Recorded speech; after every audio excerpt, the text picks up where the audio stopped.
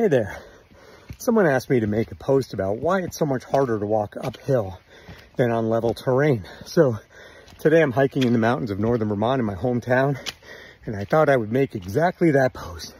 Why is it harder to walk uphill? Well, every time you walk uphill, every step you take, you're working against gravity. So you need to do extra work.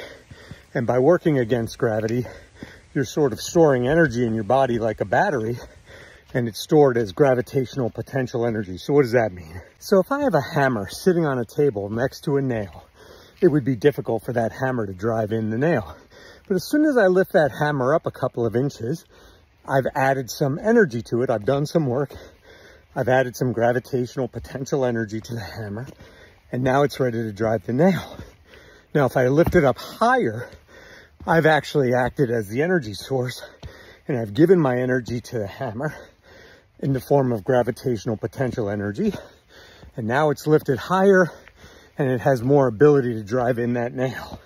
The higher you go, the more gravitational energy, potential energy you've stored. Another way to look at it would be taking a spring and stretching that spring out. You're using some of your energy to stretch the spring.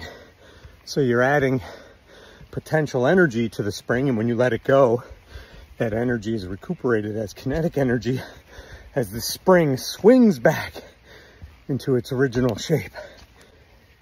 So the good news is, since energy isn't created or destroyed, that energy goes somewhere. And when I take another trail on the way down, walking downhill, I've got all that potential energy stored up and it's much easier for me to walk downhill since I'm not working against the force of gravity. So for now, all those uphill footsteps were worthwhile. I'm here at Butler Lodge on the side of Mount Mansfield. Nice view. I love Vermont. I love science. Have a great day.